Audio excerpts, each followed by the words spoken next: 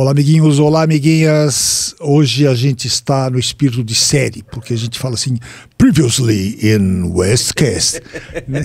Porque é, hoje é parte 2, pela primeira vez a gente vai fazer um parte 2 com o nosso grande astro, Augusto Nunes, que na primeira, lembrando, previously, né? E com a Branca Nunes também.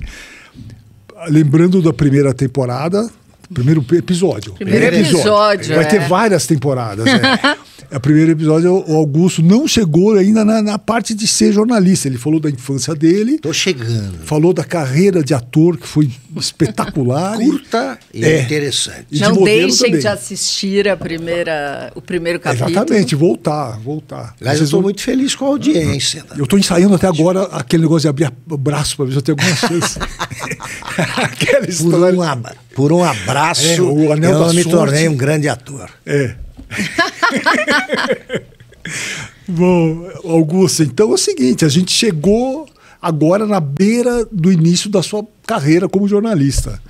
Queria que você contasse como é que começou, a... como é que você virou? Eu achava que seria jornalista, como eu eh, disse de passagem na nossa primeira conversa, desde o dia que eu conheci a redação do nosso jornal, né? aquele semanário que a impressão era manual, né? chamada de impressão a frio. Eh, eles juntavam letras. eh, os tipógrafos eh, juntavam letra por letra, tinha uma- cada caixinha tinha uma Eu letra. lembro, é linotipo, não é que se chamava? Lindo, é, você sabe que eu não sei o nome exato, mas é, aquela máquina que não. Ela, ela roda, mas ela não é quente, né? Não tem aquela impressão, não é o chumbo derretido, não tem nada a ver. São letrinhas prontas. É como se você datilografasse, mas pegando letras. Era um negócio tão interessante que eu não entendia como o cara podia compor uma página à mão com tanta velocidade. E aí eu ficava escrevendo e passando texto para que ele compusesse, o tipógrafo. Aí você descobre coisas assim, usa-se muito pouco a letra J em português. Sobrava J, acabava o A. Acabava a letra A, eu tinha que parar. Como é que você vai escrever sem A? Você não escreve sem nenhuma letra, claro, É. né? faltando. Mas com o A não dá para você escrever duas palavras. Sem o A. Sem o A, é. Então eu gostei disso, do cheiro de tinta, da liberdade para escrever. Não tinha redator-chefe, não tinha ninguém. Escrevia o que queria. E comecei escrevendo ah, notas de falecimento e de nascimento. Aí que eu descobri que todo jornalismo é investigativo. Não tem jornalismo investigativo. E o quem é que não investiga? Eu, por exemplo, tinha que investigar o nome da criança, o nome dos pais, quando nascia alguém. E também tinha de saber o peso da criança. Aí eu já achei demais, investigação demais, e fiz o seguinte: em- nos 10 meses em que eu lidei com a, com a sessão, todo, toda criança que nasceu em Taquaritinga era um robusto bebê. E também tinha nos falecimentos, eu tinha de ir ao enterro para dar uma olhada e calcular o número de presentes. Falei, também é investigação É demais. investigação, Aí é. eu pus, o secto contou com um numeroso acompanhamento. Todos foram muito acompanhados, os defuntos, mesmo se forem enterrados só pela família. Mas foi, foi o prazer de escrever? É o prazer de escrever e o prazer de lidar com letras, com palavras. Eu sempre gostei disso. Aquilo que o Drummond faz com muito mais talento, evidentemente, né, de brincar com palavras, com letras. Sempre eu tive essa tendência. O Drummond, por exemplo, diz que não existem sinônimos, porque o gordo não é obeso, nem o obeso é gordo. São coisas diferentes. É. O obeso é mais gordo que o gordo. É pelo som. Pelo som, Você é. está obeso. Pode aumentar o regime aí, porque é mais grave do que estar gordo, se quiser emagrecer. Então são palavras, não tem sinônimos. Mas você não teve, então, um guru, assim, um cara que... Meu irmão mais velho Seu que me levou. Ah, ele fazia tá. uma coluna política. Tá. Também não era bom de título, não. Ele- o nome era O Pitel da Semana. Pitel é o- Uma coisa boa, um petisco gostoso, é. não, uma coisa dessa, uma comida gostosa. E depois falava de mulher também, né? Um depois pitel, se falava uma. É. Ele escreveu tão mais cedo isso que nem se falava de mulher né? como Pitel naquela época. Mas eu gostei da redação, sempre gostei de escrever desde, desde garoto. Quando comecei a ler, já gostava de escrever. Eu uh, comecei, claro, né, com 14, 15 anos, comecei a escrever, tentar sonetos de quinta categoria. Quinta categoria num diário que a minha, uma das minhas tias me deu e resolvi ser jornalista. Só que não existia faculdade de jornalismo. Elas estavam em gestação. Ah. Então você fazia direito. Tá. Primeiro, eu queria ser diplomata Portanto, por isso que eu fui fazer eh, a faculdade de Direito no Rio, que é lá que fica o Instituto Rio Branco, que prepara diplomatas. Você é. precisa ingressar no Rio Branco. Então, já fui para o Rio, quando normalmente se você, querendo uma ótima faculdade de Direito, você tentava São Francisco. Eu fui para o Rio. Mas eu sabia que continuaria a escrever. Aliás, eu não sabia que eu seria jornalista, eu sabia que eu escreveria. Sei, Viveria alguma coisa, alguma coisa eu ia Sei. escrever. A faculdade, a Escola de Comunicações e Artes, eu acho que nasceu por aí, 67, 66, por aí. E eu comecei a cursar a faculdade em 70. Ela era uh, também uma, um bebê, estava é. sendo moldada a faculdade. E eu me defini pelo jornalismo quando eu comecei a. quando eu fui obrigado a trabalhar, porque, como eu contei no episódio anterior, o meu pai cortou a mesada porque ele não estava dando, querendo dar dinheiro para comunista. Ele quer dar direito, é dinheiro para o estudante é. de direito. No dia em que eu soube disso, eu fui procurar. Eu, eu, eu, estava na rua 7 de abril quando eu soube disso. E lembrei que um deputado federal que tinha se candidatado em dobradinha com meu pai, que se candidatou a deputado estadual, chamava Pedro Marão. me lembrei dele e falei: vou pedir emprego para Pedro Marão. Tinha que alguém te indicar para entrar num jornal. E os diários uh, associados ficavam também na 7 de abril. É. Aí eu fui para Pedro Marão, me atendeu imediatamente, simpaticíssimo, e eu expus a ele o meu problema, omitindo a razão, omitindo o sumiço da mesada. Era chato.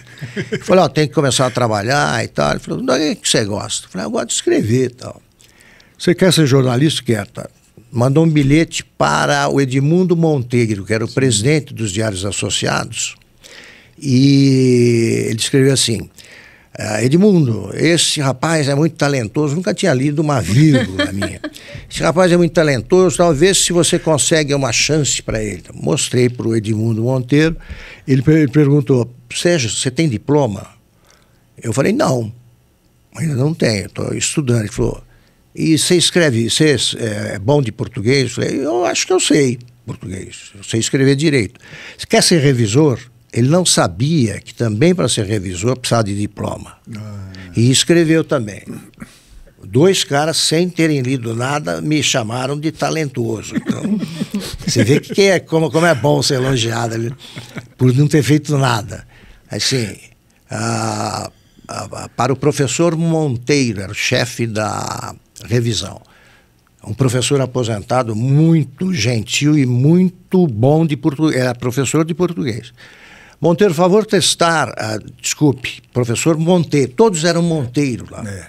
Edmundo Monteiro, hum. professor Monteiro, tinha, porque os Monteiro mandavam.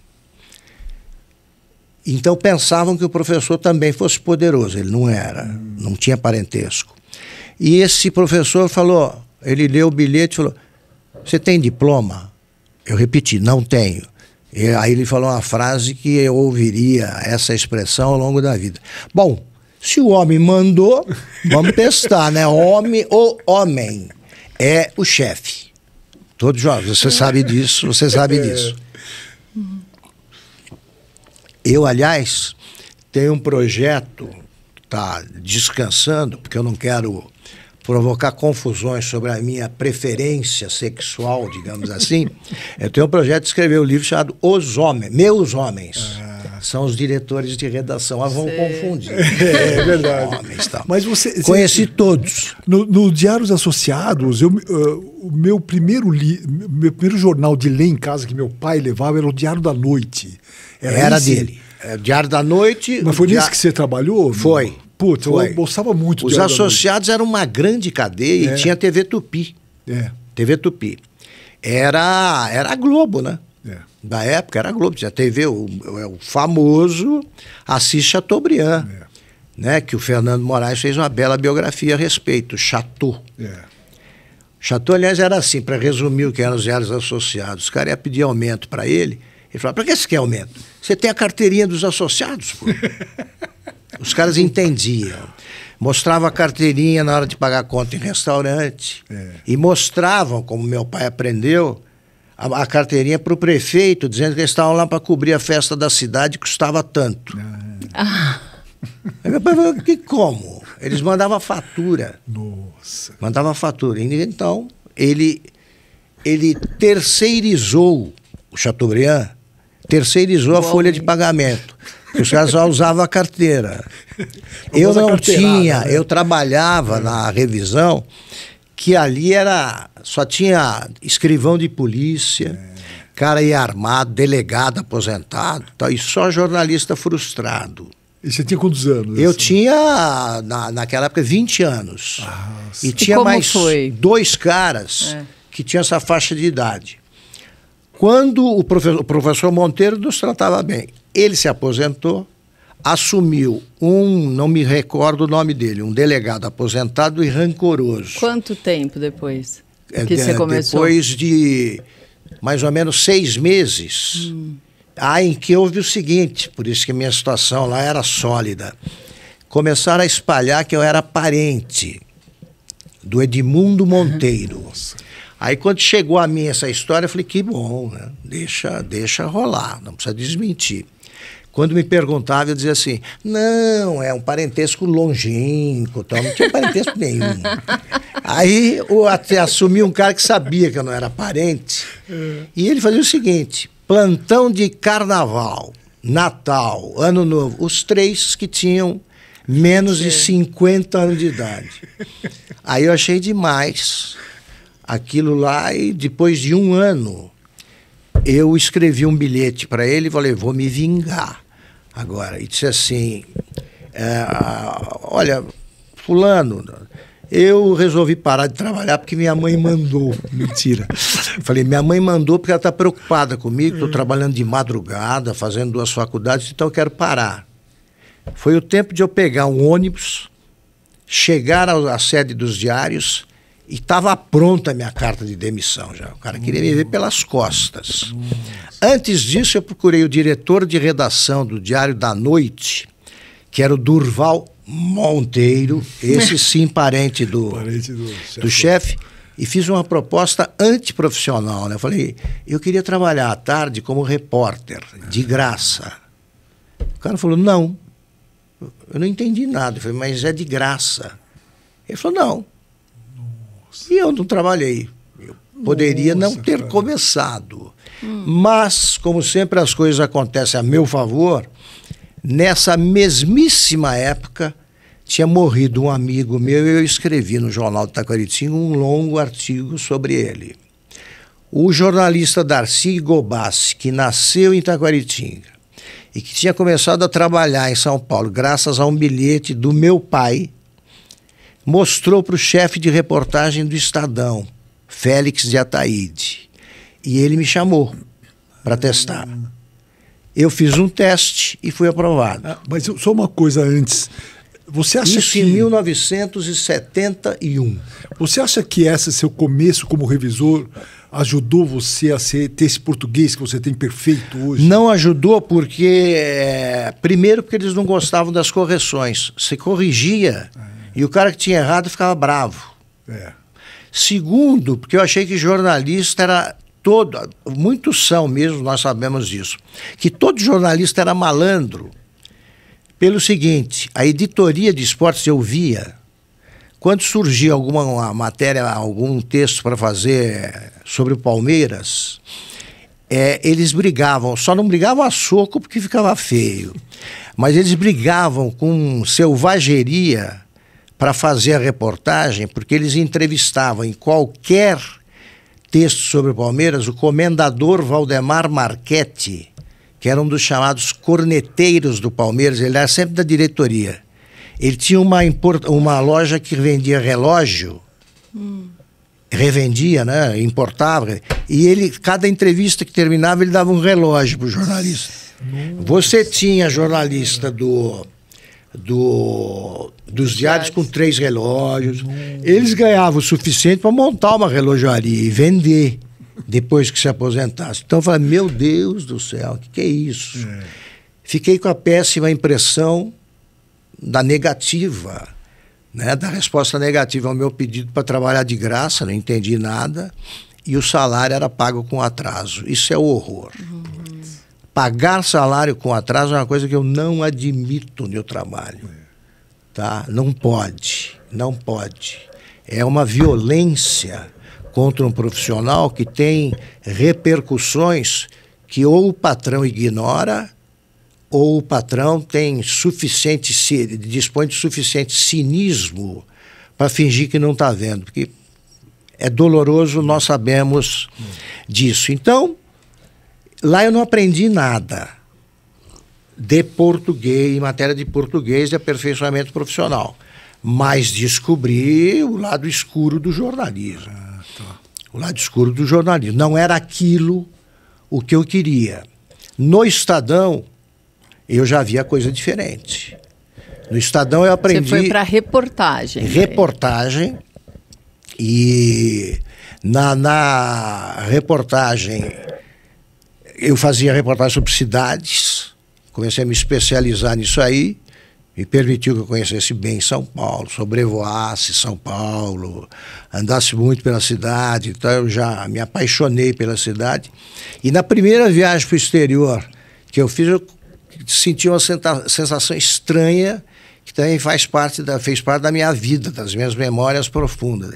Pela primeira vez eu senti saudade de São Paulo, não de Taquaritinga. É... Eu continuava a ser um taquaritinguense é, visceral, porque é o, a, o, meu porto, é lá que eu ancoro. Mas eu já era um paulistano. E para onde você foi essa primeira viagem? Na primeira viagem foi para Bolívia. Bolívia. Bolívia. Cobri um golpe de Estado. Claro. Aí, no Estadão, eu já estava fazendo reportagens sobre a. a eu, eu, virei repórter para assuntos uh, sul-americanos. O que, que é assunto sul-americano? nos anos 70, é, golpe, ah. golpe de Estado. Eu era solteiro, livre, então eu viajava por um golpe de Estado na Bolívia e a Argentina tinha outro, terminava da Argentina, começava na Colômbia, eu conheci tudo. Vendo generais, capes, aqueles capes enormes, e descobri a instabilidade latino-americana. A minha vida instável era a que me, me fazia feliz, porque eu sempre gostei de viajar. Jornalismo era viagem. É. Era viagem. Exatamente. Pena que se viaje pouco. Hoje é. vamos viajar mais Ótimo. aqui, porque é o olhar do repórter. É, é o olhar. Então, aí eu fui, virei depois subchefe de reportagem. Rapidamente, eu comecei a, a ocupar cargos de chefia. Pelo meu temperamento, eu gosto de coordenar pessoas por liderança não por tensão. Isso é importante, fazer uma pausa. Uhum. Tem dois modos de comandar no jornalismo: por tensão ou por liderança. Tem gente que acha que tensão é criativa, eu acho que é paralisante. Eu, uh, eu comando por liderança. Eu, as pessoas, eu gosto que as pessoas acompanhem o projeto que eu estou tocando. Aí você obtém o engajamento de todos. Mas isso me prejudicou por outro lado. Eu, eu, por ocupar cargos de chefia muito cedo, eu deixei de ser repórter pelo tempo que eu gostaria de ter sido. Até hoje tem reportagem que eu quero fazer. Qual é Por exemplo, ficar ao lado de uma família nordestina. Agora não sei se isso acontece com aquela da- daquele modo agudo como acontecia. Uma família sem água. Como é que é viver sem água? Eu não passaria sede, não estou bancando herói, não. Eu voltaria para o hotel à noite. Não precisaria dormir lá. Mas eu queria passar o dia com a família lá, sofrendo a seca para ver o que, que é ter sede. A sede eu queria enfrentar. Sim, sede. Assim, não precisava morar sim, sim. lá. E ali eu também sempre suspeitei do que depois eu descobri que é uma verdade. Do, de um pequeno grupo. Estudando o pequeno grupo, você conhece um país. Tá? O, o, o livro Hiroshima, né, do Hershey, ele entrevistou seis pessoas e com seis pessoas, ele acompanhou a rotina de seis pessoas um ano depois da explosão da bomba e com isso ele mostrou o que, que tinha acontecido aquele dia. O Guzo fez uma grande, Zé Roberto Guzo fez uma grande reportagem sobre a China, entrevistando uma família. E o Hélio Gaspari mostrou como é que era a realidade russa, a soviética. Já, já tinha acabado a União Soviética, tal. Ele morou com uma família no interior da, da Rússia uma semana, dez dias. Então é do, do- da parte você pega o É todo. o microcosmo, né? É o microcosmo. É isso mesmo. Sempre né? é o microcosmo. Qual é, mas qual é a tua repo- reportagem que você fez, a sua reportagem inesquecível? É a que reconstituiu a. né, Eu fui parte da equipe, né? Liderei a equipe de repórteres ali, era a que reconstituiu a eleição do Tancredo Neves, como de fato aconteceu. Mas aí já é um trabalho em grupo. Trabalho em grupo. A minha reportagem individual de que eu ah, mais gostei foi ah, uma reportagem que eu fiz na Argentina, ah, num dos, quando a Argentina retratada nesse filme, 1975, se não me engano, 1975, logo depois de 75, como é que estava a Argentina? Eu gostei porque eu conheci, acho, a Argentina eh, verdadeira. Sim. né? Como é que é o povo argentino? O povo argentino, o povo argentino é desenraizado. Eles eh, não, não- os, os, os tais povos originários acabaram. Sim. Morreram todos os índios, lá não tem. Sobraram pouquíssimos descendentes. Eles vieram recentemente, vê, olhando a coisa do, tempo, do ponto de vista histórico, da Europa. Eles são netos ou filhos de, de imigrantes. Eles não têm, é por isso que eles, eles saem tanto do país. Eles não têm uma história antiga, eles não se referem a 1600 e pouco, eles não têm os bandeirantes como nós tivemos. Então, é um povo ainda que vai precisar de alguns séculos para se sentir argentino, Olha. apesar do aparente nacionalismo. Nossa, cara. É Argentina, Argentina, mas quando eles têm uma crise, migram a centenas de milhares. Então eu gostei. Nossa. E a Argentina é um louco adorável, né? E a gente ama odiar-se. Né? No fundo, nós gostamos muito um do outro. E porque a Argentina é a única que joga futebol como brasileiro. É isso aí. Mas eu gostei, fiz reportagens muito boas, entrevistas muito boas, mas eu gostaria de reportagem de campo, gostaria de ter feito mais. Como é que foi ver, ver o Michael Jordan em Ah, ascensão? Bom, era o meu mundo, né? Porque a, a- eu tinha uma inveja tremenda do Nelson Rodrigues por milhares de razões. porque ele escreve espetacularmente, porque será, segundo a Bárbara Eliodora, né? Que disse isso num Roda Viva que eu fiz com ela, é quem mais entende, de, era quem É, mais Shakespeare, entendia de né? Shakespeare no Brasil. Eu perguntei qual, que- qual é o autor brasileiro, o autor teatral brasileiro que daqui a 500 anos vai ser encenado e parecerá atual. Ela disse Nelson Rodrigues da primeira fase. E é verdade. Ele continua atual para mim, como cronista, tudo. Eu não entendo de, teatro. A Bárbara Eliodora sabe o que diz. Pois bem, e porque ele que era um apaixonado por futebol, né, enlouquecido pelo Fluminense, e capaz de dizer frases assim no programa que eles tinham, era programa de engajados, né? Não essa frescura de mesa redonda que ela finge que é neutro. É. Ele era o Fluminense. Sim, sim. O João Saldanha era o Botafogo. É. Então, o Armando Nogueira era lá no, na infância da televisão. Aí falaram, o videotape mostrou isso. O videotape é burro. É. Ele falava, o videotape não enxerga nada. Esse cara, que via futebol assim, que criou aquele personagem da Granfina de Narinas de Cadáver, que entrava no Maracanã e falava: O que é a bola? Quem é a bola? Esse cara foi o primeiro a chamar o Pelé de rei. Olha só. Pelé tinha 17 anos, ele viu jogar. A camisa do Pelé parecia um manto. Oh.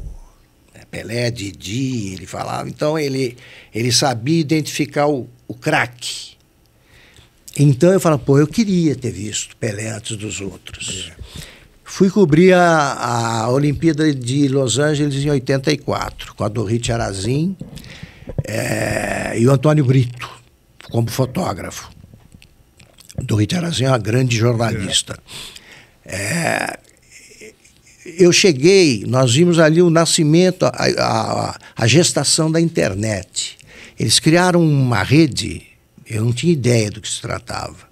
Que permitia que os eh, jornalistas inscritos trocassem mensagens, estivessem onde estivessem. Eu estava no estado no norte de Los Angeles, do Rio do Sul, a gente brincou como macaco naquilo. Você está aí, como é que é? Boa tarde. Eu não acreditava naquilo.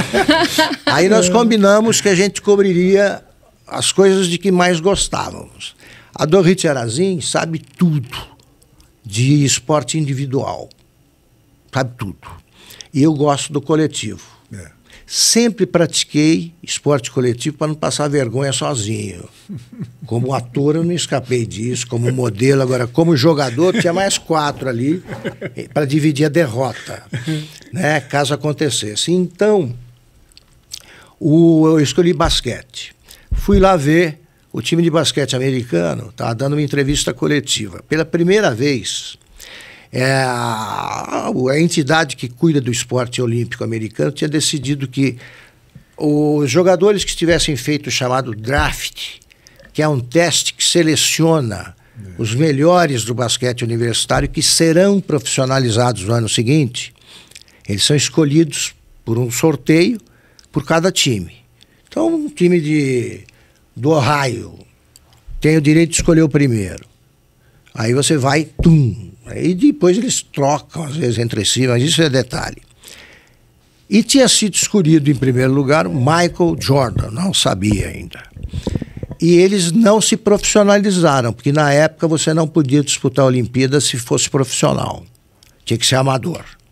Então eram profissionais mas não oficialmente. Uhum. E tinham lá cinco púlpitos com os cinco titulares. Um eu sabia quem era, é o Pat Ewing, que é um, sim, sim. um pivô que jogou muitos anos no New York Knicks, ótimo. O cara era um gigante, mas aquele gigante típico. A perna é muito longa, é, ou o tórax é muito grande, eles são disformes, geralmente. E tinha um grupo grande de jornalistas, em outros eram menores. Tal, e viu uma pequena multidão ali num canto. Quem é? O Michael Jordan. falei, quem é o Michael Jordan? Ele falou, olha, é um monstro. Aí que é o cestinha do campeonato universitário. Então eu fui lá ver e eu vi pela primeira vez um, um, um corpo perfeito de gigante. Tudo proporcional. Tórax, que perna, tal. Era uma, você pega um homem tamanho normal e amplia. Na primeira vez que ele pegou na bola, primeiro momento que ele pegou na bola, ele começou a bater, que você bate a bola no basquete, acompanhando, é, é sincronizado com os passos. Você dá uma passada e bate a bola. Pá, pá, é. pá. Ele lembrava o João Gilberto no violão, aquela batida. Em descompasso, ele batia a bola. Não coincidia com o movimento das pernas. Eu falei, bom, Nossa. esse cara aí já é diferente. É. Ele vai, se aproxima do garrafão, dá um salto da zona do arremesso lá, do lance livre, e chega. Por isso que o apelido dele foi Air Jordan. Air Jordan. Ele vem e põe na cesta. Pronto. Aí eu fiquei sabendo que ele fazia isso, proibiram isso, é. porque no campeonato universitário, ele do, do, da zona do lance livre, em vez de arremessar, ele pulava. Punha a bola. Eu escrevi o primeiro texto sobre o Michael Jordan, publicado pela imprensa brasileira, dizendo que eu tinha conhecido o Pelé do é. basquete, que foi. E foi mesmo. Então né? é um negócio, era um box que eu publiquei na Veja, e eu guardo porque é, eu me orgulho disso aí. Meu, e a, você cronologicamente você entrou na, na, no Estadão. Tem Estadão. Você te, e você teve uma fase mais curta ali, nessa primeira fase. Mais curta porque me deram para escrever. Além de fazer essas reportagens pelo continente, eles me deram a última página para fazer matéria de cidades. Ah, tá. Eu assinava praticamente todo dia uma matéria grande. O editor de cidades, o, o é, editor de cidades da Veja, saiu, não me recordo agora o nome dele. E o Carmo Chagas, que era editor dessa área de geral, me chamou para cuidar de cidades como redator. Redator era uma faixa salarial entre o repórter e o editor assistente. Então eu fui para Veja em 73. Quando eu li primeira capa da Veja, eu tive certeza absoluta de que eu não conseguiria escrever aquilo. Era de um nível tão mais elevado do que o nível em que eu me situava, que eu falei, aqui não vai dar, não vai dar. E eu acabei escrevendo 125 capas da Veja. Nossa, Ninguém escreveu tanto. Nossa. Também por, pela maluquice que é o jornalismo brasileiro. É. Quatro foram sobre planejamento familiar, que eu não sei direito o que é até hoje, porque era a mania do Roberto Tivita, o homem, meu homem do momento. Todo mês de julho ele pediu uma capa sobre planejamento familiar. Nossa. Primeiro eu fiz normalmente. No julho seguinte, eu já estava colocando a abertura no box, o box na abertura, tá, era a mesma informação, não acontecia nada. O Brasil teve uma experiência de planejamento familiar no Rio Grande do Norte. Tentaram lá. Então, essa experiência aparece com destaque em todas as reportagens. O Roberto gostava tanto do assunto que eu acho que ele nem lia. Me pedia no julho seguinte. Então eu acabei assimilando e descobri que jornalismo é, é treino e truque também. Truque também. Descobri que, ao contrário da lenda, o jornalismo da Veja era substantivo, não era advérbio, não era adjetivo. Né? Ele é um texto que deve ser seco é que a gente também usava da malandragem. O Jorge Skosteg, que morreu tão cedo, meu companheiro da Veja, ele, ele falou assim, porque a linha da Veja, ela era curtinha na página, a gente chamava de lauda, para que do lado corrigissem. Hum, tá. Então vinha aquele aquele textinho e ele falou assim: ah, eu vou ganhar uma linha aqui, escrevia inadvertidamente. Desafortunadamente. Já ganhei uma linha e tal. A Veja fazia isso. Seja como for, aquelas coisas. Eu fui aprendendo na Veja o que não preciso usar em texto. Na verdade, está mentindo antes? É. Né? É, de fato, não precisa, isso é tudo penduricalho. E jamais um leitor da Veja se queixou do texto que os outros jornalistas diziam que era que era é, um texto como é que se fala de hospital que se define é, quando é muito limpinho, asséptico. Ascético. Texto asséptico é. da Veja. Os leitores gostavam porque às vezes a gente tinha a mesmíssima notícia que estava no texto publicado pelo jornal. Então a gente só podia escrever melhor. Você aprende a escrever com elegância, na, na Veja, quem moldou o texto da Veja foi Zé Roberto Guzzo. Hum. Ele era correspondente em Paris, depois é. veio para cá como redator-chefe. Ele definiu aquele texto que é elegante é. e que eu aprendi como é numa metáfora que, eu, que me, me passou o Léo Gilson Ribeiro, sim, um sim. grande crítico de, de, de literatura. O Léo Gilson olhou meu texto, sim. Você escreve bem, mas é muito magro. O texto é o seguinte, que chegou atrasado, põe correndo contra o relógio. É. Eu entendi o que, que é, não é nenhum achado escrever isso aí. Mas eu entendi o que, que você devia fazer. Você tinha de recorrer a figuras de linguagem mais elegantes para que pelo menos o leitor das duas publicações achasse que a da Veja era escrita por alguém mais culto. Eu queria te fazer uma pergunta sobre a Veja, mas antes chegou o momento do nosso comercial. Quem quer fazer o comercial da, da, da Oeste dessa Vamos vez? fazer. Ah, hoje nossa é... diretora, a nossa grande diretora de redação. Né? Não, eu queria, queria propor, propor fazer boa. uma proposta para as pessoas pegarem a Veja, o site, o, a Veja, a Veja não, a, a Oeste e lessem o site da Oeste durante uma semana para ver como isso que o Augusto falou agora que eles davam é, diferente, né? Era uma coisa melhor.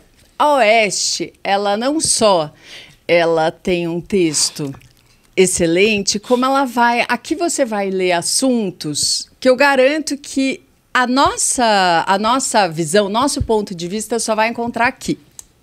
E também pegar Toda semana a gente tem a nossa edição e tem os textos que a gente sempre libera. É, um, dois textos para não assinantes. Então, você se inscreve na nossa newsletter, que você vai receber esse texto e ler. Eu tenho certeza que você vai gostar e eu tenho certeza que você vai decidir assinar. muito, muito, bom, muito bom, cara. Muito Subscrevo bom. sem ressalvas. Muito bom, cara. Uma proposta, uma, proposta. prática. É, pessoa é verdade, olha, é o, o texto da, o texto da, da, da revista S é o melhor. É, é o melhor entre todas as publicações. Eu digo isso aí como jornalista. Olhando, é o único que eu leio com prazer. É. Porque hoje os caras né, tratam o português a socos e pontapés, né? Eles inventam palavras, eles não... erram. É. Erram. Erram, eles usam um verbo que não pode. Tá? Aquilo ali, lido por um português, um professor de português, ele deveria devolver, procurar o PROCON, isso aqui é um produto, é propaganda enganosa e é um produto com defeito. Está é. Tá mentindo. Eu estou querendo saber o que acontece, fora o resto. É, fora o e resto. outra coisa que é, o leitor ele é, ele é muito esperto, né? Então, assim, você vê todas as publicações, a grande maioria das publicações brasileiras, elas estão caindo. Estão caindo a audiência, está caindo a tiragem, está caindo o número de, de pessoas que tanto acompanham nas redes sociais quanto nas, nas edições. E a Oeste, é uma das poucas, se não a única publicação que está numa linha crescente. A nossa quanti quantidade de visualizações, de visitantes únicos, de visualizações mensais, ela nesses três anos ela está numa linha crescente.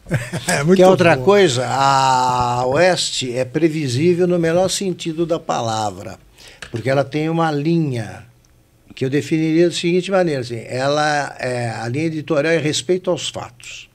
É. Você sabe que virá a verdade dos fatos. É. Ali não é a opinião, ali, fatos. Era o que marcava a Veja. E é o que explica o sucesso que a Veja teve é. e também explica o fracasso da Veja agora, porque ah, perdeu, perdeu essa... a identidade. É. O Estadão. É. Conversava outro dia com o Fernão Mesquita, Fernão Mesquita, se fosse diretor do Estadão, hoje ele já tinha sido escolhido para ser pelo pai. É, é, isso eu não sabia, não. É. Ele ter, o Estadão teria outra linha. Outra linha. Qual é? Muito parecida com a nossa. Liberal, conservadora. Quando eu falo conservador, é conservar valores eternos. Sim, Por sim. exemplo, a honestidade, a honra. Isso aí é, é que eu pre preservo.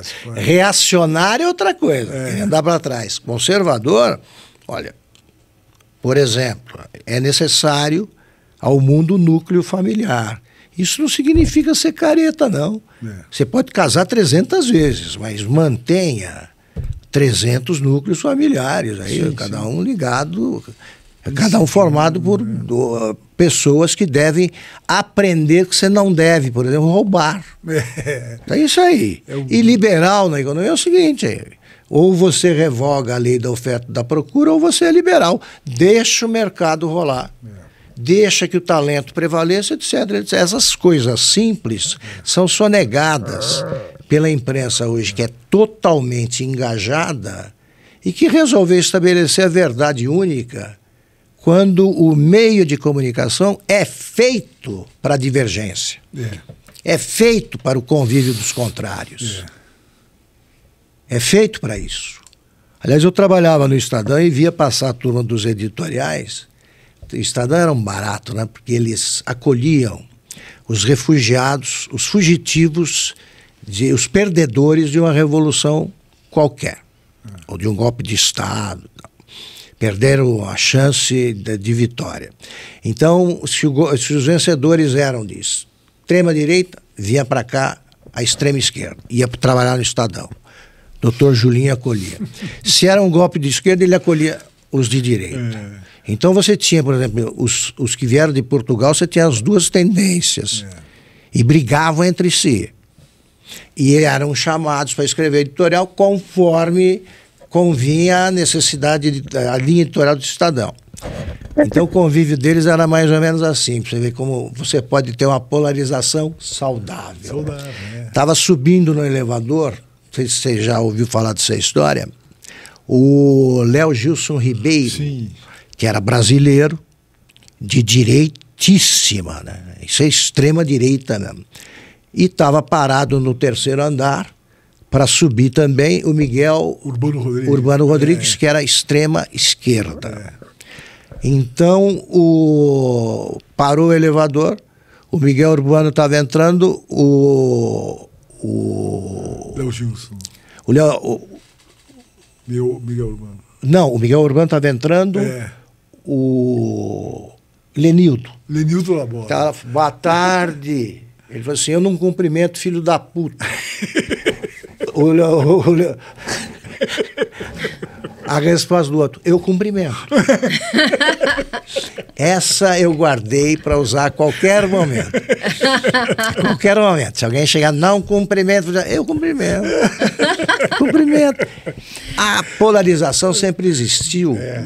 Só que é, quando ah, uma pessoa é, como eu sou, devota do convívio dos contrários, você trata como se tratam os torcedores que não são selvagens dos é. times de futebol. Como é que eram? Como é que era as redações antes? Fisicamente também, é. o barulho, tá? E agora? Eram é, eu, barulhentas, é, com te... fumaça de cigarro é. e sem mulheres. Hum. O Estadão, eu trabalhava lá em 70 e 72, 73, começo dos anos 70, quando entrou a primeira mulher. Nossa. Trabalhando lá, Adélia Borges. Ela tinha sido convidada, ela trabalhava nos diários e o chefe de reportagem, Eduardo Martins, convidou. Só trabalhava lá uma mulher, chamada Clotilde, no suplemento feminino. feminino. É e era parente do Cerqueira César, que faz uma das famílias que compõe o clã dos Mesquita. Mais ninguém. Doutor uh, Júlio, Júlio Neto, já, com quem eu trabalhei depois. Ele viu e falou: quem é? Aí é a repórter foi contratada. Ele chamou o Eduardo Martins e falou: demite. Nossa. No Estadão não trabalha mulher. Ele também era tímido, Nossa. doutor Júlio, com isso aí. O Eduardo teve uma posição muito digna que merece registro. Ele falou: não, não, eu contratei, ela precisa ficar. E ficou. Quando eu voltei para dirigir o Estadão, as mulheres já eram quase a maioria. Mas eu peguei um jornalismo sem mulheres. Nossa, impressionante. Né? Fumando, né? todo mundo fumava desesperadamente é. café. Na Veja, a gente fumava, não tinha ar-condicionado. Não tinha ar-condicionado. Então o Hélio Gaspari, quando cruzava com o, o Vitor Chivita, era muito engraçado que ele falava assim, seu Vitor, eu gosto de encontrar o senhor porque eu sinto a presença do meu pai. É. O senhor paga o meu salário, senhor me sustenta, garante a minha sobrevivência. Agora, tem o seguinte: sem ar-condicionado, isso aqui é barracão de bicheiro, doutor, é. seu Vitor. É bicheiro do Rio que se reúne em, em galpão quando eles têm que se esconder da polícia, não põe nem ar-condicionado para chamar atenção. Agora, na Veja, nós trabalhamos um tempão sem ar-condicionado e aí eu vi cenas do seguinte tipo, numa noite de muito calor, o Silvio Ferraz, editor de economia, começou a fazer um negócio que eu só vejo em filme americano, né? festa de aniversário de filme americano. Começou a tirar roupa. Tirou a paletó, tirou isso aqui. Daí a pouco ele tira a camisa, tira a meia e de repente ele está trabalhando de cueca. E foi denunciado à direção pela mulher da limpeza, que tal? que sabia preservar os valores que o meu amigo Silvio Ferraz tinha abandonado. Falou, eu vou trabalhar pelado aqui, não dava, era um calor. Mas, e tudo aos gritos. É isso que eu ia te falar. Não né? tinha ramal. É. Eu sou pré-ramal, pô. E no grito, ainda só tinha italiano, Mino Carta dirigindo. Ligado. Rádio, rádio ligado. É, tinha o, o, o cara que o escutava, escuta, rádio é. escuta, ficava é. um cara. E Telex, que eu não consigo explicar para os meus netos o que, que foi. É. O Telex. O Telex, ele vinha aquele barulho, era uma máquina grande, um teclado grande, e você ia lendo o que ele imprimia ali passava, é, transmitia todas as notícias. Quando eu tinha tempo, eu gosto tanto disso, de notícias, quando eu tinha tempo eu ia me distrair na sala de, de, telex, de telex. Né? É. Sala de telex. E na, na, na, no telex vem assim, uh, o Vitória Brown venceu o campeonato de de squash na Virgínia. E também vem, mataram o presidente Kennedy. Qualquer coisa, vem tudo direto ali. É. Eles transmitiam ali. Não para. Aí eu resolvi escrever no Telex. O Paulo Francis e eu escrevemos no Telex direitinho. É. Quando você, você tem que acompanhar numa velocidade enlouquecedora. E quando você erra, comete um erro, não dá para voltar. Então você, você punha digo. Ah. É, digo, não valia a frase anterior. E yeah, era aqui. E tinha fita perfurada. É, né? e o maior mistério da é. minha vida, radiofoto. Nossa, Você recebia numa maquininha branca uma folha furadinha, cheia de furos, folha branca. Passava por um processo qualquer, que eu não sei qual é, e virava foto. Hum. Eu falei, não acredito, não acredito. E aí veio a, a radiofoto colorida. É. Aí não é possível. Então vale aquela explicação, né? Eu não sei se eu vi em redação ou em que lugar onde fala assim, o cara tentando explicar para outro como é que é o telégrafo sem fio. Fala assim, ó, faz o seguinte, o telégrafo sem fio é fácil de entender. Imagine um cachorro tão imenso que ele cubra o Atlântico. Você tem o focinho do cachorro nos Estados Unidos e o rabo no Brasil. Você aperta o rabo. Isso é o telégrafo, o sem fio. Bate no rabo, ele late lá.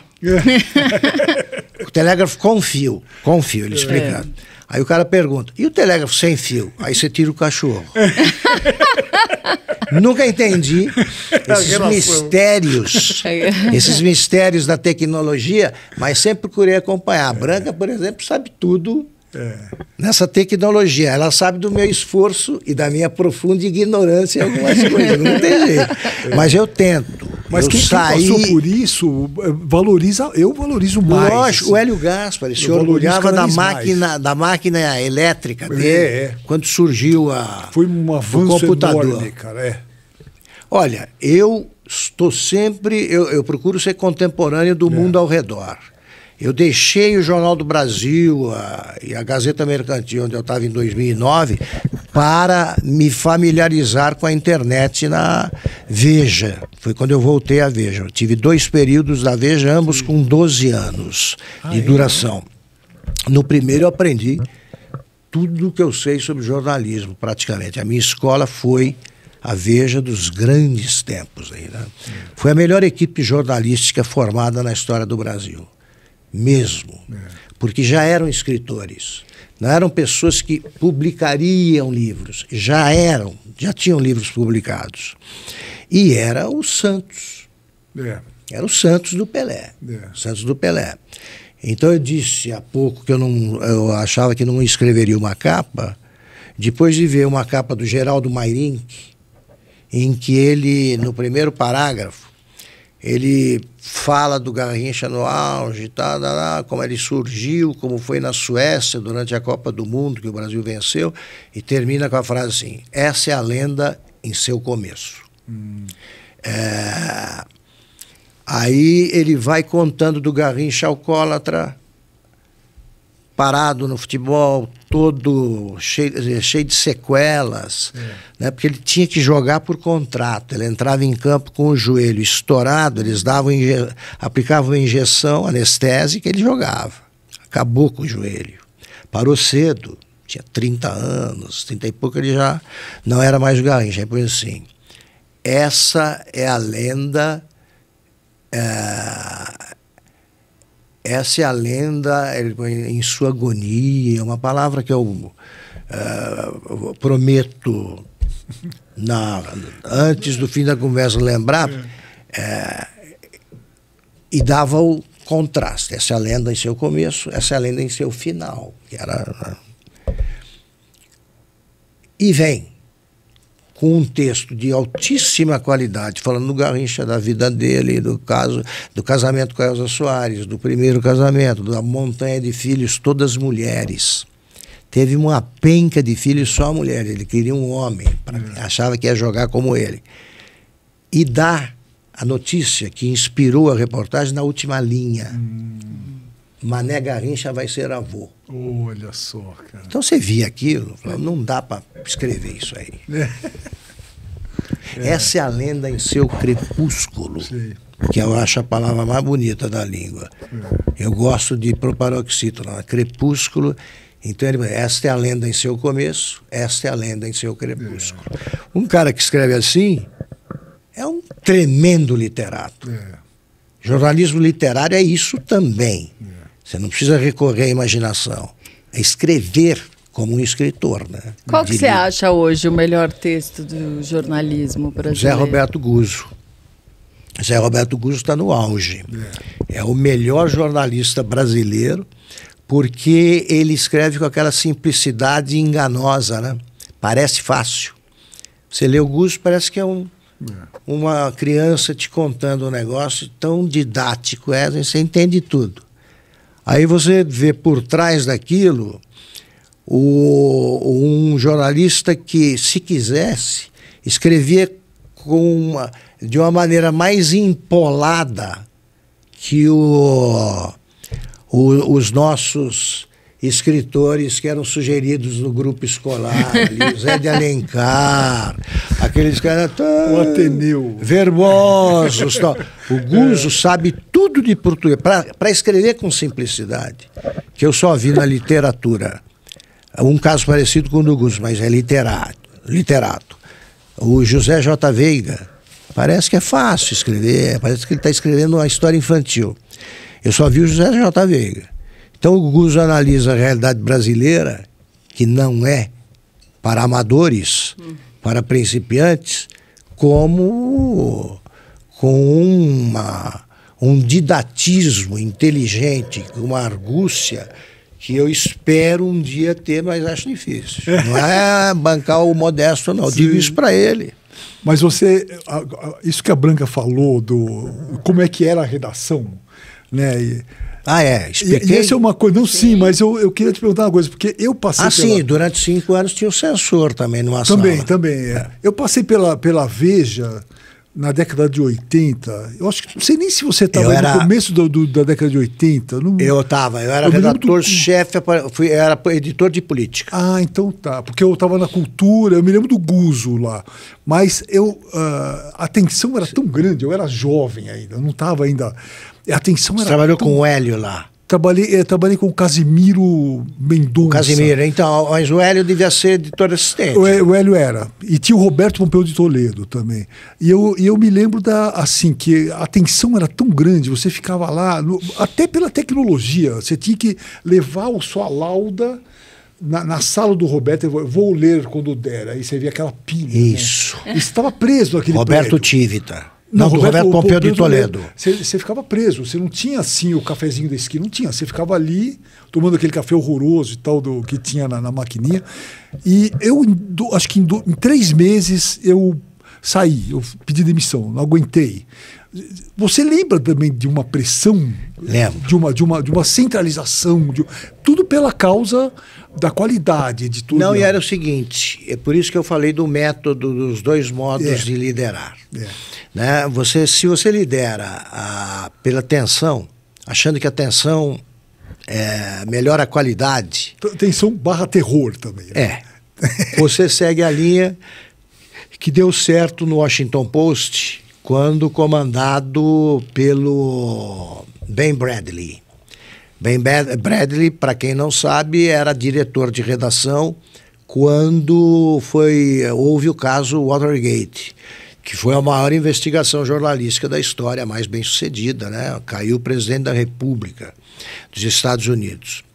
Quando eu conversava sobre isso com o Hélio, por exemplo, que gostava desse estilo, eu dizia, olha, pode ser, nos Estados Unidos pode ser estimulante, eu acho que a tensão aqui é paralisante. É. Que é paralisante. Pelo meu temperamento, eu também já comecei a jogar, a desempenhar o papel que é necessariamente desempenhado por diretores de redação com o meu perfil. É o algodão entre cristais. Você tem de evitar que as coisas fiquem muito tensas entre os comandantes e os comandados. Uma vez entrou na minha na minha sala e me deu uma lauda que estava manchada de sangue, o Guilherme Cunha Pinto, Nossa. nosso belo jovem Gui, bonito jovem babu, Gui. olho azul, aquele jeito dele, jogava bem futebol, jogamos muito juntos. E ele me deu aquilo, eu falei, o que é isso, Guilherme? Aí eu vi que ele, ele roía unha, ele estava com a unha no osso, nossa, cara. Pela tensão despertada ao escrever uma matéria sobre o Pelé. Ele sabia tudo de esporte. É. De esporte e de outras coisas. Ele é o autor do título que o Estadão outro dia plagiou sem acreditar. Picasso morreu. Se é que Picasso morre. Hum. É dele. Sim, sim. Ele entendia de tudo. Mas ele, ele sobretudo de futebol. Eu falei, o que está acontecendo, Guilherme? Pô, eu tenho muito medo aí de apresentar esse texto para a direção tal. Então eu comecei a, re, a reescrever texto, que isso vai afetando a qualidade. Eu reescrevi o texto dele na minha sala e levava para o Hélio.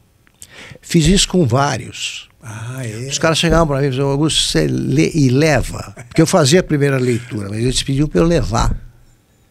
Então eu levava e dizia sempre a mesma coisa.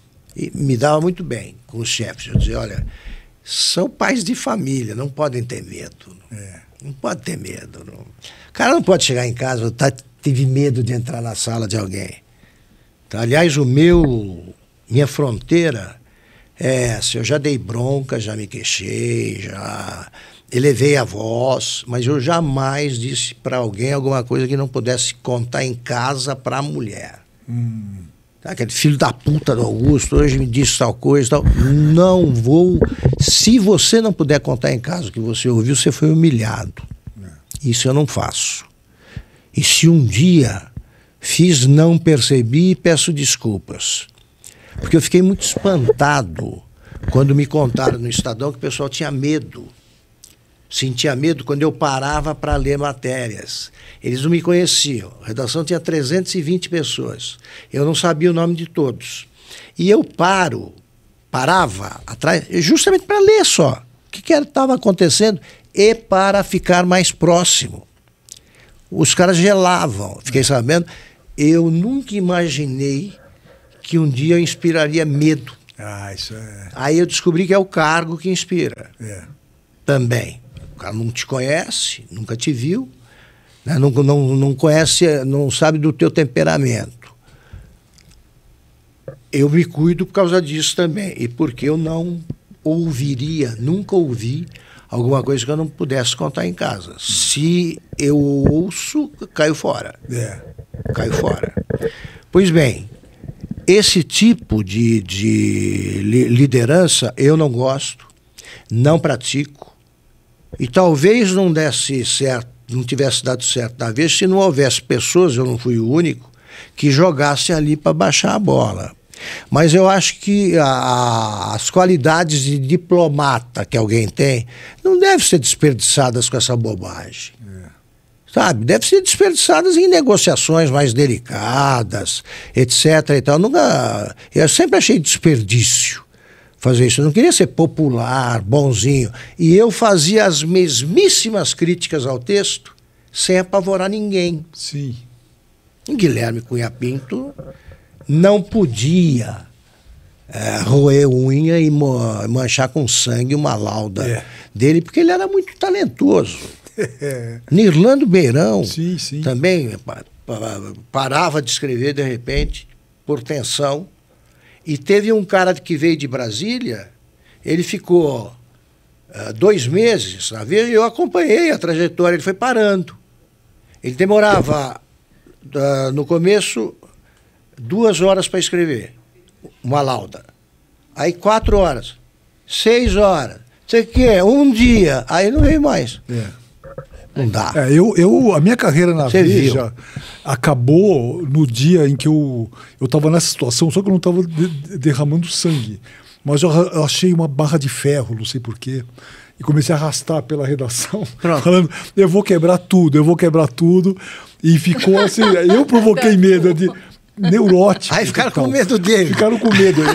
Depois eu soube que pegaram essa barra e colocaram numa espécie de um altar, assim, falando assim, meu, não, era, é um aí que tá.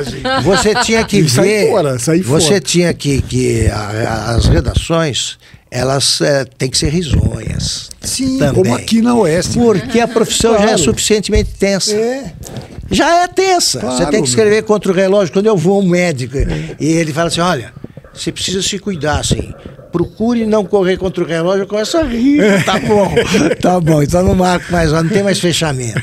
Não tem mais fechamento. É, acabou. Não tem, não tem horário. É. A hora que eu terminar, eu entrego. É. A gente ficava brincando assim. O que, que a gente faz? Na sexta-feira, na Veja, os caras. que era o dia do terror, é, porque a gente tinha que fechar a revista, escrever tudo aquilo. E no tempo do Mino dependia do humor dele. Então íamos até sábado de manhã. Menino namorava e dependia do estágio do, do, do namoro ou da situação amorosa para ele voltar ao horário da volta. Ele podia voltar também triste, contente, então dependia disso tudo. Depois a situação ficou menos anormal. Né? Mas, por exemplo, com o Mina, ele estava comemorando 40 anos, estava todo mundo na sala, só ouviu uma máquina. O Zé Carlos Bardavil, que era louco de pedra. Ele, no aniversário do chefe, a redação reunida na sala do chefe. Aí ele entrou correndo para resolver uma dúvida qualquer Tava o Mino Carta sentado, ele falou assim: Ô Mino, pôs as duas mãos no bolo. no bolo, inteiro. O Mino Carta só olhou e falou assim: Você então agora tem que discursar. Viu? Caro Mino Carta, e discursou. Esses momentos têm que acontecer com mais frequência, ser tratados como piada, é, como é. é. Como é, porque o jornalismo é engraçado. Esse Bardavi era tão doido que uma vez eu estava com ele tomando uma adorável figura, morreu. Eu estava na máquina do café, tomando café com ele, e ele pegou, encheu a xícara, caiu a caneta, ele baixou, ele se curvou para pegar a caneta, olhando para o café. Isso que é misterioso. E ele foi tombando, tombando e caiu nele. Eu falei, agora você se superou. Ele superou. Né? Então tem momentos assim, o é. Milton era o nome do chefe de arte. Eu estava um dia no banheiro, entra o Milton, tá o Guzo, ali os dois fazendo as suas necessidades de pé ali no banheiro. E o Milton era tão é, folgado que ele olhou para o Guzo e falou assim, duas da manhã. José Roberto Guzo, feliz com a profissão que abraçou, o Guzo vai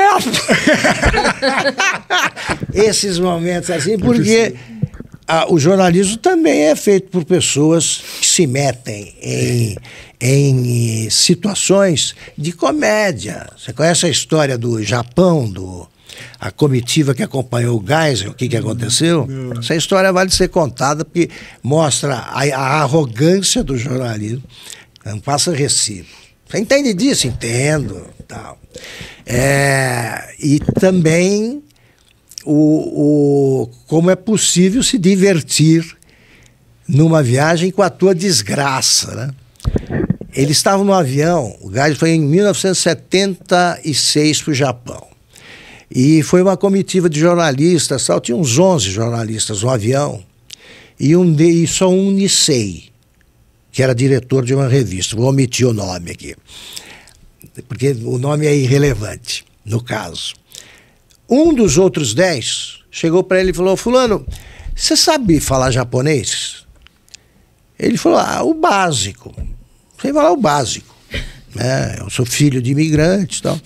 Ele falou: Não, eu queria saber o seguinte: uh, nós, eu estava querendo arrumar um restaurante fora do circuito turístico e consegui achar é, afastado ali do centro, tal, ótima comida, mas tem um problema: eles não falam nem inglês só japonês. Você consegue pedir comida para todos? Você conhece a história? Você me contou, mas não me lembro do final. Aí o cara falou: ah, Isso eu consigo, isso eu consigo. Aí vão, no dia seguinte, ao da chegada, vão os 11.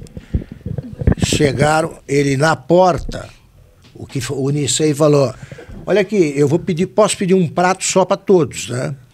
É um prato ótimo. Não se preocupem, mas eu peço um só, só facilita. Eles podem, sem problema. Tá. Chegou, vem o garçom, o, cara fala uma frase, tá, em japonês. O garçom reage com uma expressão de estranheza e depois ele pede para repetir. Ele repetiu para encurtar a história. Daí a cinco minutos tinha todos os garçons ouvindo aquela coisa, o resto da comitiva não entendendo nada, o, o Nisei com um cara envergonhada e os garçons chorando de rir. Apareceu no restaurante, surgiu lá um cara que falava bem português e japonês, outro Nisei, e traduziu o que que ele tinha dito, o japonês. Ele falou assim quando o garçom se aproximou ah, ah, mamãe, neném quer papá. Era a frase que ele dizia na infância: Mamãe, neném quer papá. A mãe trazia alguma comida de boa qualidade. Ele falou: Vou dar um chapéu nesses babacas aqui, vou pedir um prato só, eles vão achar que eu falo japonês bem pra burro. Só que eu não era mãe exatamente o garçom que atendeu. Então, doutor, essas histórias. É é que a gente tem que lembrar, por exemplo, numa noite de tensão. É, exatamente. Em vez de ficar lembrando momentos de horror tal. O jornalismo, ele é apaixonante, mas ele é tenso. É. Tenso.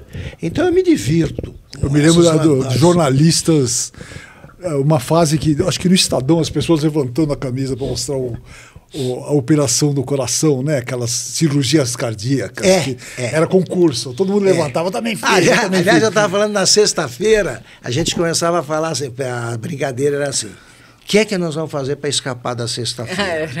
então, tinha um editor assistente de inter, internacional que falava assim, Wilson Palhares. Ele falava assim: vai acontecer o seguinte hoje. Abre a porta do elevador, vem um cavalo, sai um cavalo do elevador, mira no corredor, vem galopando e está em direção a Dorit, que era chefe dele, casada com Hélio Gaspari. Eu pulo no cavalo, seguro o cavalo, sal, salvo a Dorite e quebro o braço. Aí, um outro, que eu também, esse eu não posso dar o nome, ele já fala assim: Você sabe que eu vou ser sincero agora. Eu juro que eu queria que minha mãe morresse. Para você ver o nível de tensão. Pois bem, claro, estava exagerando, brincando, mas tudo isso tem um fundo de verdade. Fariam qualquer negócio para ir embora. Aí surgia outra conversa. O que, que você faria se você soubesse, no meio da redação de uma capa da Veja, que você ganhou na, na loteria? Na, naquela época era a loteria esportiva. O é. que, que você faria? Aí um, um falava assim: eu rasgava a capa em pedacinho para ninguém poder usar nada, nem uma linha. E eu falava sempre assim: falava, eu não, eu vou para casa, termino em casa a capa e só entrego se o Roberto Tivita for lá e falar: Doutor Augusto, o senhor pode, por favor, me entregar? Evidente, nunca aconteceu, mas eu tentaria. Bom, pessoal, ó, vocês pensam que acabou aqui? Não acabou. Nós vamos ter um terceiro episódio. Tem ainda Roda Viva, ah, tem, tem, mais. História, mais Editor Abril, tem. É, é, você, é mais, você é mais conciso. Não, não, não por favor, não, não. Por favor, não faça. É um isso. prazer falar com vocês aqui. Essa não, história que é boa. Vai ter mais, é, eu tô falando terceiro, mas é o, é, é o próximo, né? É o próximo. Pô, obrigado, Augusto, de novo. Pô, obrigado, tá Breno. Tá Sem obrigado dúvida. a vocês. Tá Sem é um prazer mesmo. Não, a gente vai, vai ser cada vez melhor isso aqui. E obrigado a você, obrigado. a Cine Oeste. E muito obrigado pela sua presença. Riptayota aí é para todos. Roda a vinheta. Tchá, tchá, tchá.